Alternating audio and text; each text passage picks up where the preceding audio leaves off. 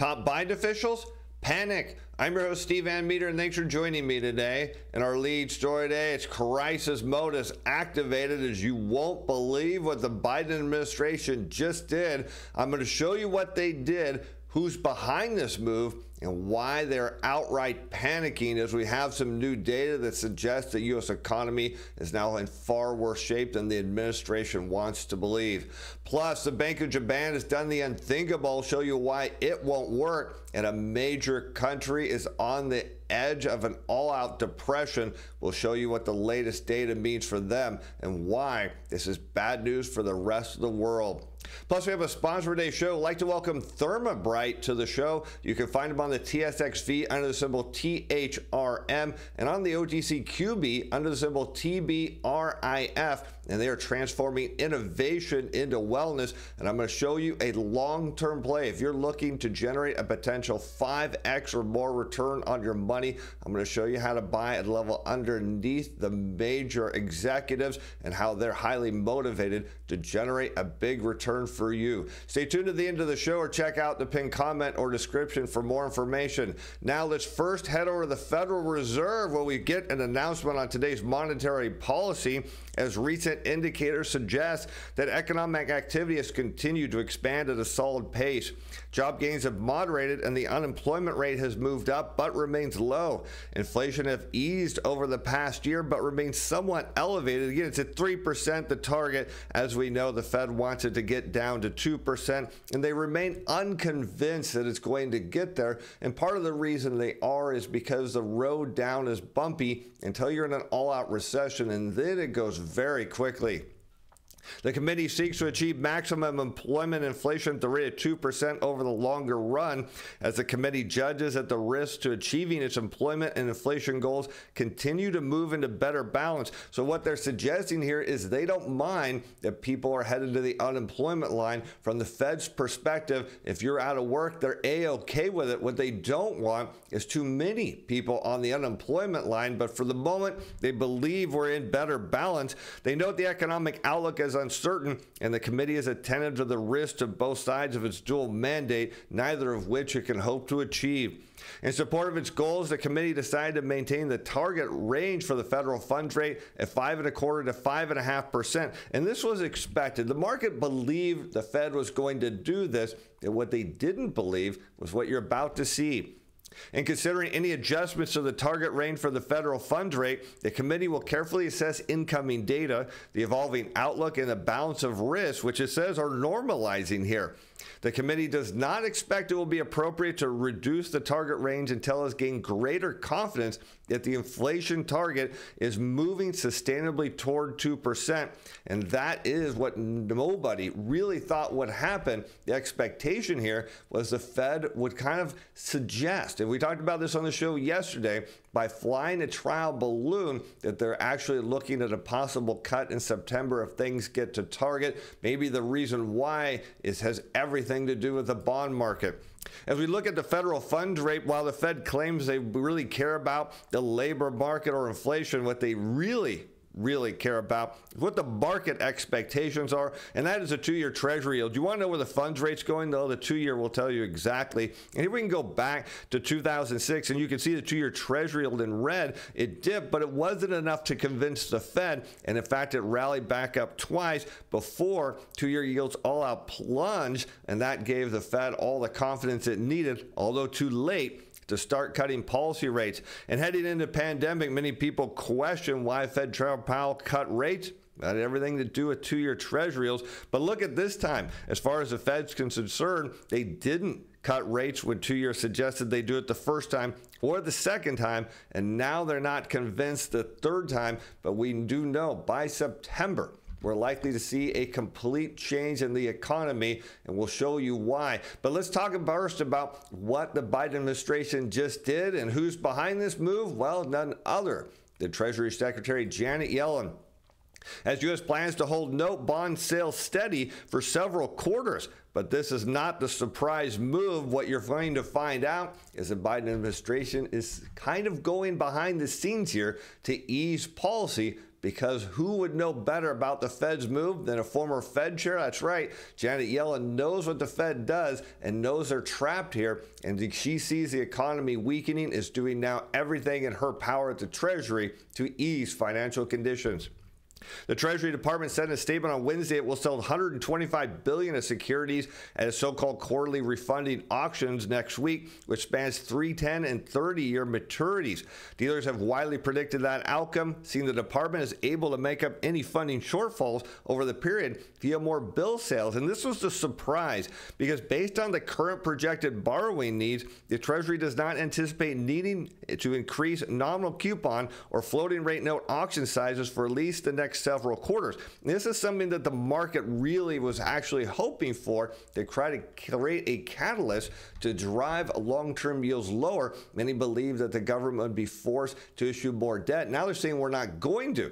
Question is why and what are they up to with all this bill issuance? Well, you're about to be surprised. And most of the Treasury Borrowing Advisory Committee members this time indicated that averaging around 20% over time. This was where the issuance of T-bills comes into play It was a good trade-off between interest rate costs, volatility, in financing and the risk of rolling over a major amount of debt at one time. And here you can see the issues as Treasury bills as a share of U.S. debt are above the 20% target as the upper range. And this is unusual and is causing some people in the political space and the economic space to question the motivation of what's going on here with Treasury Secretary Janet Yellen. Why is she doing this? Well, as you're about to find out, it's deliberately done to ease policy knowing the Fed can't. And with the Federal Reserve now having reduced the amount of treasuries it's letting mature each month, that's right, quantitative easing has now officially been scaled back without any expected replacement. That has in turn eased the burden on the Treasury to sell more debt to the public to fund the fiscal deficit. So while the Fed isn't lowering the funds rate, as we found out, we do know they went ahead and lowered their purchases or their sales, that is, of bonds to the public, and that has helped easing conditions. That was kind of the intent here. But the Treasury took it one step further as later Wednesday, the Fed is widely expected to signal will start lowering rates, but they didn't. In fact, the so called pace of quantitative tightening, the amount of central bank is shrinking its balance sheet, is seen staying at the current amount of up to 25 billion a month for treasuries, and there is no current expectation that's going to drop. But here we see on Wednesday's statement also detailed a new schedule of buybacks. That's right. Yellen's buying back bonds for the August October period. In May, after over a year of analysis, the Treasury launched a new buyback program, and now they're continuing it with the operation aimed for supporting market liquidity, or at least that's what they say. The Treasury said it plans to get on cash management buybacks in September of 2024. But what they're really doing here is they're issuing short term T bills to buy back long dated treasuries, older treasuries. They're paying a lot less interest. They're trying to free up liquidity in the markets. But the other thing they're doing here is freeing up balance sheets, and they're also trying to ease financial conditions, and for good reason. Because as we note, the Fed did not cut rates and did not expect to cut rates now in September, even though the market will still continue to price that in. There's a reason Janet Yellen is in panic mode. It's everything to do with the economy. As U.S. hiring and wage growth both slowed in ADP July data, as firms added 122,000 jobs, that's now the lowest since January and missing expectations to the downside. But here's the critical part as wage growth slowed to the smallest pace since 2021 for workers who changed jobs, as well as those who stayed, according to the data. Several industries cut jobs this month, led by professional services, information, and manufacturing. Most of the cuts were concentrated in small businesses of about 20 to 49 employees. And we've talked about this and we've seen in the National Federation of Independent Business reports in their surveys that they're indicating that small businesses were having trouble accessing credit. Of course, they also noted that demand for products and services were down. It was only a matter of time. They don't have the resources that much larger firm has, and now they're starting to cut jobs. This is a dangerous sign because as they cut jobs, watch it goes upstream to the bigger companies companies. The ADP figures are consistent with signs of a gradual slowdown in hiring, as we saw that from the JOLT survey, which is largely made up, as joblessness has now been on the rise in recent months. As we look at continued unemployment claims, and so have the number of Americans applying for those benefits. Of course, we'll get updated data tomorrow, but let's take a look at this chart because it's important to understand that as employers cut hours and they don't give out as big of wage increases, well, it's because they don't need as many employees, and that means they send them to the unemployment line. Of course, there's also a demand component for employees. If you know you can go out to the labor market in terms of available workers and they're plentiful, you don't have to give those a have jobs big raises. And sure enough, we can look at total compensation growth of average hourly earnings multiplied by average weekly hours of production and non supervisory employees. This showed in blue on a year on year rate of change. And we're looking here against continued unemployment claims. So you can see that as employers start to pare back on hours worked and how much wage increases they're giving out, what you see is continued unemployment claims rise. And that has a function of the fact that as people make less money, they end up spending less, particularly in a higher interest rate environment where their debt service cost goes up. And then on top of that, we've seen energy prices rise. We're also seeing insurance costs go up, and it's really hurting family budgets, and that means less spending and more people to the unemployment line. And we can see this typically leads into a recession as we see total compensation growth slowing going into the dot com bubble as continued unemployment claims rose. We see it happening again going into the global financial crisis, and now we're seeing the early signs of this. If there's one data point that I am concerned about and watching the most, it's every Thursday, so it's continued unemployment claims because these central bankers have absolutely no clue what they're doing and they're driving the global economy slowly into a massive recession that's going to turn out to potentially be a global depression when you factor the fact that a lot of banks are hemorrhaging and upside down, we're looking at a total financial crisis. And the evidence that these central bankers have no clue what they're doing, well, no further than looking at Japan as they're changing the rules, this according to Zero Hedge, as a Bank of Japan shocks by hiking into a weakening economy to contain a crashing yen. And this is virtually unheard of. We don't see the central bankers make such policy moves because they normally care about the economy. Now, remember the last country that just did this? That was China. And what did they turn around and do? You got it. They cut rates because they knew they had to, and they gave up on their currency, something we expect will happen with the yen and Japan. The Bank of Japan has lifted its benchmark interest rate to a quarter percent and has outlined plans to have its monthly bond purchases in a decisive, if yet doomed, move to normalize its monetary policy and contain inflation.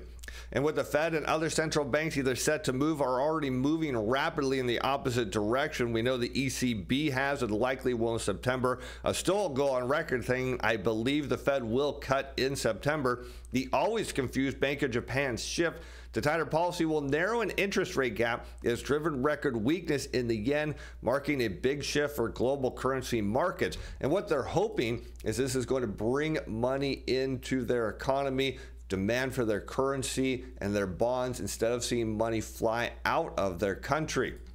The Japanese currency strengthened more than 1% following the decision on Wednesday, as everyone believes this is going to work, but hang tight, not for long. As we look to the senior economist at Moody's Analytics, he pointed to the BOJ's new emphasis on the yen's inflationary impact but also that the central bank was still hiking into a weak economy in the absence of demand driven inflation. And here's the challenge the currency in a fiat currency, they're just reflective of demand for it. So the notion that they're going to see the yen stay higher is highly unlikely because their economy is weakening in Japan and the global economy is weakening as well, particularly the US consumer, which is why we talked about that ADP report because it says spending here is dropping, which means, of course, exports out of Japan are going to go down, and all in turn means that any hope to stabilize the yen is not going to work. Instead, what you're seeing here is a central bank driving their economy right back into a recession. I think the BOJ needs to be clear about the fact that they're changing the rules because they're not winning the game. In fact, well, central bankers tend not to.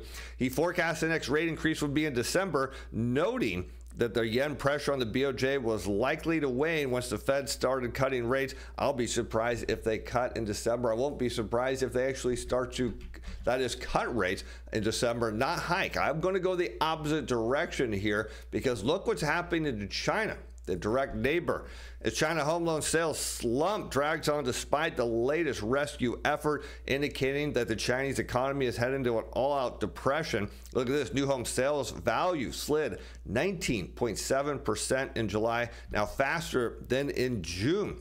In fact, transactions have dropped 36.4% in June after showing a notable increase in April and May. We said it wouldn't hold, it wouldn't last, and that indeed is what we're seeing. The value of new home sales just plunging, and that is not good because we know that these home builders have a lot of loans to the banking system there in China. And of course, these banks are highly dependent on that. If the builders go, and it looks like they will, well, there goes the entire Chinese banking system all at once.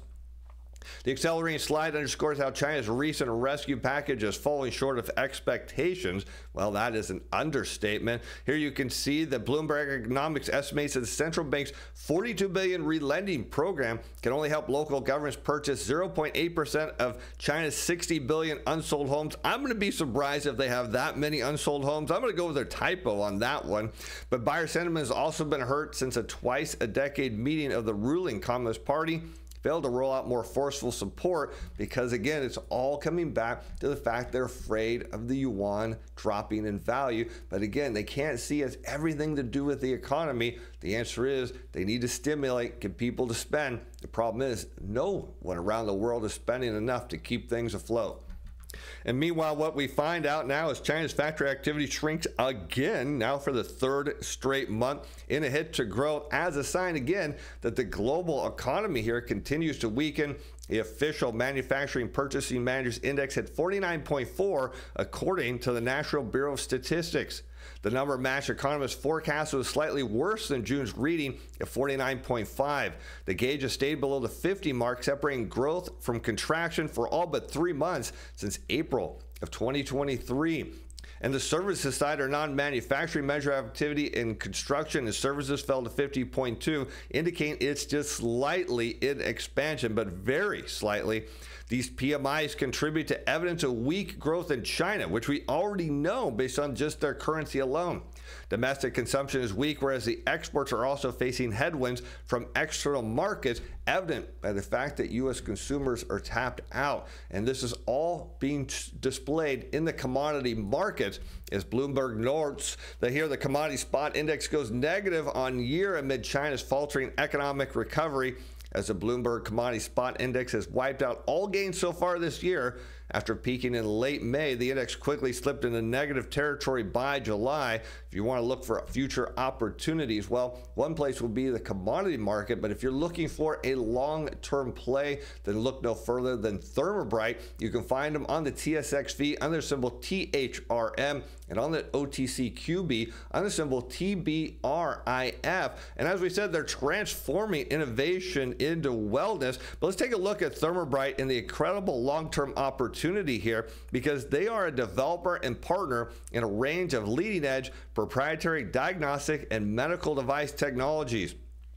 And here we can see from a recent press release, Therma Bright's VenoWave VW5 secures FDA 510K approval. And this is a huge deal for the company because they are now pleased to announce that they've received the U.S. Food and Drug Administration's approval on its 510 application request to correct the VenoWave VW5 device's intended use, labeling, and description. This approval addresses the U.S. Centers for Medicare and Medicaid Services requirement for issuing the VenoWave VW5 permanent current procedural terminology and healthcare common procedure coding system. But let's take a look at why this matters because the FDA's 510K application approval, as well as the CMS pricing and new HCPS level 2 code designation recommendations and review process being complete, the company expects VenoWave's permanent codes approval imminently. And our distribution partners are standing ready to begin the work to deploy our VenoWave to their network of Medicare and Medicaid medical practitioners, which will drive business to help their patients with a variety of circulatory issues, including deep vein thrombocytosis and pulmonary embolism. At the Center for Disease Control and Prevention, or CDC, estimates over 900,000 U.S. citizens are impacted by every year.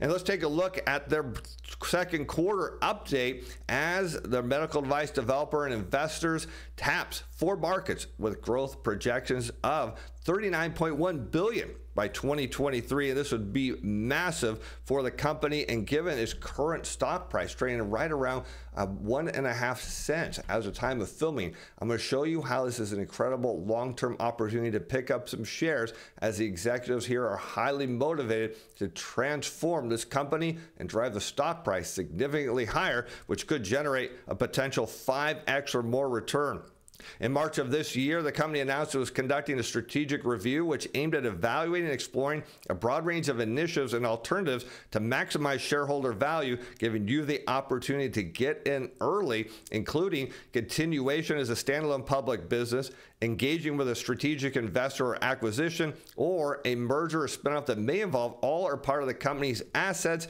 and possible other options as well. And Therma also announced that pursuant to the company's 10% rolling stock option plan in compliance with the policies of TSXV, is granted a set of stock options to certain directors, officers, and consultants of the company to purchase up to an aggregate of over 5 million common shares. Here's the key part the options are exercisable for a period of three years at a price of 5 cents per share, so indicating that if you look at the stock today, it's trading like again at time of filming right around one and a half cents. You see the motivation here. They're looking to do whatever it takes to get the stock price up, and now you can get in at a price lower than them. And it's been a great first half of 2024. This from Rob Fia, the CEO of Therma Bright. In addition to the 1 million Canadian and private placement capital raise, we're moving forward with many of our core business initiatives including waiting for final approval from CMS on the permanent codes from the VenoWave and FDA's feedback on our 513G application for a digital cough analyzer powered by AI4LYF. We're pleased that our four key investment efforts are based around industries and technologies with great growth horizons and that total a market size of upwards of 39.1 billion by 2023. It's an exciting time for our team, partners, and what could be you as a shareholder. But as always, with any company we feature on our show, no, no obligation to purchase their stock. Your, be sure to do your own research before placing any trades. And with that, I'm Steve Van Metre. Thanks for watching. Thanks for being fans. Bye now.